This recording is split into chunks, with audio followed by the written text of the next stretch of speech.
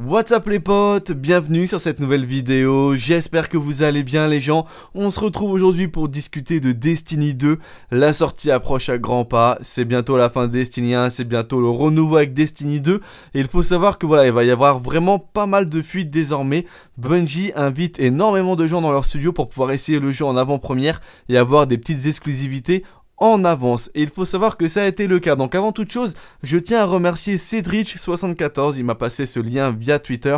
Un grand merci à toi. Et donc comme je vous l'ai dit, il y a un magazine qui s'appelle Edge. Donc c'est un magazine de jeux vidéo américain qui a été invité par Bungie à tester le jeu en avant-première.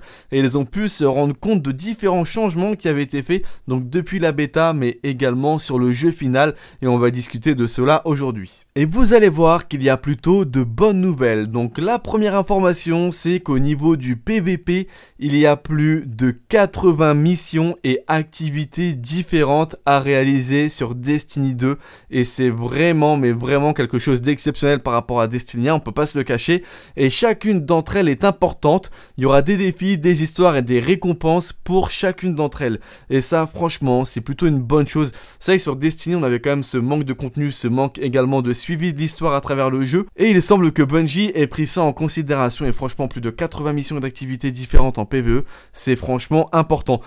Alors par contre, à côté de ça, on nous dit même qu'il y avait tellement de nouveaux contenus qu'à un stade du développement, Bungie s'est retrouvé bloqué parce qu'il y avait plus de contenu que de progression dans le jeu. Et du coup, ils ont réparé ceci par la suite. Alors par contre, là, on ne sait pas clairement ce que ça veut dire. Est-ce qu'ils ont réduit la progression pour voilà que ça soit à peu près bien échelonné par rapport au nombre d'activités PVE ou est-ce qu'ils ont réduit le nombre d'activités PVE pour les inclure par la suite dans un DLC Ce qui serait, on va pas se mentir, une mauvaise chose pour nous joueurs. On espère un maximum de contenu au niveau du jeu. Voilà, donc ça vraiment, on ne sait pas, aucune information là-dessus. Il va falloir attendre un petit peu pour avoir des réponses à ces questions-là. Toujours est-il que voilà, il y avait beaucoup plus de contenu que la progression du jeu. Euh, du coup, voilà, Bungie a dû prendre une décision. Est-ce que réduire la progression était la bonne solution ou est-ce que enlever du contenu pour l'ajouter au DLC en serait une autre? Je ne sais pas du tout. C'est clair que pour nous joueurs, on attend plutôt un maximum de contenu, quitte à réduire la progression, ça serait plutôt un bon choix. Ils ont également abordé le sujet des nuits noires et la grosse modification également, ça va déplaire à certains joueurs, ça peut plaire à d'autres. Ce qui est sûr et certain, c'est que les nuits noires en solo vont être beaucoup plus compliquées que sur Destiny 1, puisque désormais, on va avoir tout simplement une limite de temps pour les nuits noires. Exemple, on va nous dire voilà, cette nuit noire, faut la faire en 13 minutes. Vous aurez 13 minutes maximum pour terminer cette nuit noire. Alors par contre, on nous dit pas est-ce que au bout des 13 minutes, ça va mettre fin à la nuit noire? Est-ce que au bout des 13 minutes, vous aurez une moins bonne récompense? Ça, on ne sait pas du tout. Toujours est-il que pour voilà, réussir la nuit noire de la meilleure des manières possibles, il va falloir la faire avant la fin du temps donné. Alors ça peut être sympa pour les joueurs qui recherchent évidemment un petit peu de challenge à travers Destiny. On se souvient hein, au début de Destiny dans les nuits noires quand vous mouriez, quand toute l'équipe était morte, on retournait en orbite. Et là il y avait vraiment un challenge qui était supérieur à aujourd'hui, puisqu'aujourd'hui toute équipe meurt, on revient directement au checkpoint.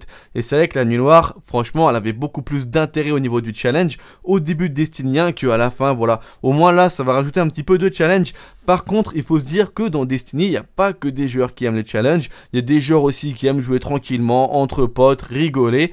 Et du coup, pour eux, c'est vrai que se dire de terminer une nuit noire dans un temps donné, alors que c'est pas forcément des gens qui vont tryhard le jeu, ça peut être un mauvais point. Donc voilà, il y a vraiment ces deux points à prendre en compte. Dites-moi dans l'espace des commentaires ce que vous pensez de ceci. Est-ce que pour vous, une limite de temps en nuit noire est plutôt un point positif ou plutôt un point négatif? Toujours est-il que ça va rajouter un petit peu de challenge sur ces nuits noires.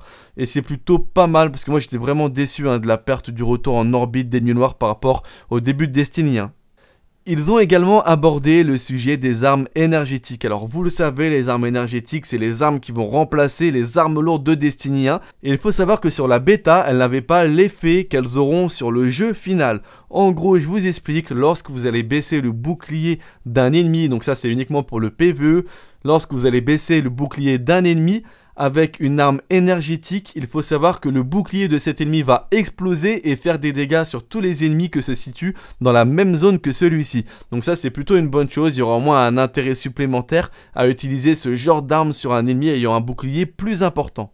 Et enfin, ils ont abordé également le sujet de la classe du chasseur, apparemment qui a subi pas mal de modifications depuis la bêta. Donc là, par contre, ils n'ont pas donné le détail non plus, ils n'ont pas souhaité le partager. Il faut savoir également que vous allez pouvoir récupérer vos grenades et vos super plus rapidement que dans la bêta. Alors l'augmentation n'est pas très importante, mais il faut savoir qu'il y aura des objets dans le jeu qui vont vous permettre de récupérer ces capacités beaucoup plus rapidement. On nous donne un exemple notamment avec un torse d'arcaniste. Celui-ci vous permettra de pouvoir rester en lévitation au-dessus du sol et de pouvoir récupérer vos grenades beaucoup plus rapidement. Et ça, c'est plutôt une bonne chose. Hein. De toute façon, on s'en doutait dans la suite de Destiny 1 qu'il y aurait des items qui allaient nous permettre de récupérer nos super, nos grenades ou nos attaques de mêlée beaucoup plus rapidement. Avant de conclure cette vidéo également, je voulais aborder avec vous le sujet des partenariats entre Bungie et différentes marques. Un exemple, il y a Bungie et des boissons énergétiques, donc Rockstar, qui font un partenariat. Ce partenariat se passe aux États-Unis, au niveau de l'Europe, je crois qu'il y a uniquement l'Angleterre et l'Allemagne. Voilà, donc si vous pouvez récupérer ces canettes, vous aurez un code vous permettant d'obtenir des engrammes légendaires. Je trouve ça dommage qu'il y ait autant de partenariats, vous allez voir, parce qu'ensuite on a un partenariat, donc je sais plus la marque. Franchement, c'est pas un truc qui m'intéresse fortement, mais voilà, il y a un partenariat avec une marque. Alors je crois que c'est une espèce de gâteau qu'il faut faire toaster. Même chose, hein, c'est uniquement aux États-Unis. Et lorsque vous achetez ces boîtes-là, vous aurez directement un code vous, permettant pardon, d'avoir de la double XP, un petit peu comme les codes Red Bull à l'ancienne hein, sur Destiny 1 pour ceux qu'on connu, voilà. Et il y a également un autre partenariat entre Bungie et la fibre Virgin, si je dis pas de bêtises, à cette occasion-là, si vous souscrivez à une fibre Virgin, donc c'est uniquement à l'étranger bien évidemment, vous aurez également un passereau exclusif. Alors franchement, je trouve ça vraiment dommage d'avoir autant de partenariats. Il faudrait au moins donner la possibilité aux autres de pouvoir les looter dans le jeu. Je sais pas ce que vous en pensez. Pour ceux qui sont à l'étranger en ce moment, profitez-en, achetez des gâteaux à toaster, achetez des canettes Rockstar, vous vous ferez plaisir dans le jeu final, voilà. Et si jamais il y en a un ou deux qui ont un code en plus, n'hésitez pas à me les partager via Twitter. Allez, non, je plaisante. Voilà, c'était pour partager ça. N'hésitez pas à me dire ce que vous en pensez un petit peu dans l'espace des commentaires. Mais c'est vrai qu'il y a beaucoup de partenariats pour Destiny 2. Et c'est franchement dommage parce que du coup, il y en a qui vont avoir une progression beaucoup plus rapide que d'autres. Et euh, voilà, c'est vraiment dommage, je trouve. Mais bon, c'est comme ça, c'est le choix qu'ils ont fait. N'hésitez pas à me dire ce que vous pensez de toutes ces informations dans l'espace des commentaires. Donc, je le rappelle, désormais, une limite de temps dans les nuits noires qui sera donnée et plus de 80 activités PVE. C'est vraiment exceptionnel, franchement. Donc, à voir si elles seront toutes présentes dans le jeu ou si une partie sera donc reversée à travers des DLC. J'espère vraiment que ça sera présent dans le jeu final, enfin dans, dans le jeu disponible le 6 septembre prochain. Quant à moi, je vous souhaite vraiment un excellent week-end les potes. Prenez soin de vous. Tchuss